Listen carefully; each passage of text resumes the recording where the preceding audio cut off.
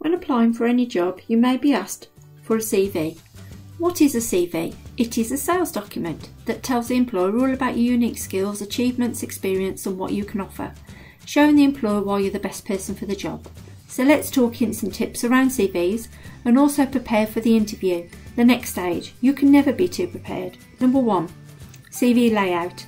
Do a Google search and this will show you many different layouts. Keep it simple with bullet points and the same size font. Number two, keep your CV to two pages maximum. On average, an employer has only got six seconds to look at your CV. Even Usain Bolt cannot run the 100 metres that fast.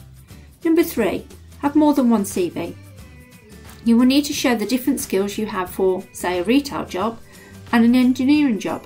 Number four, keep your CV factual.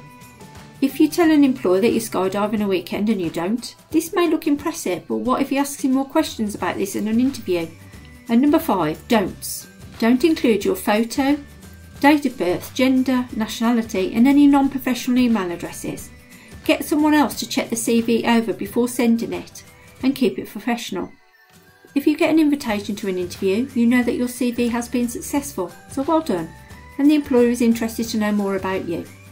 Preparing for interview tips. Number one, research the company. Look at the company's website or follow them on Instagram or Twitter. Look at what they sell or make. Find out what's important to them. Number two, plan ahead for the interview. What do you need to take? Passport, birth certificate, copy of qualifications? How will you get there? How long will the journey take? Number three, research top 10 interview questions.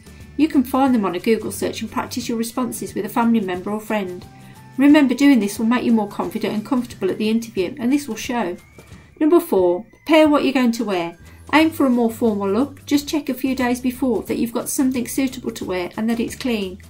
Number five, at the interview.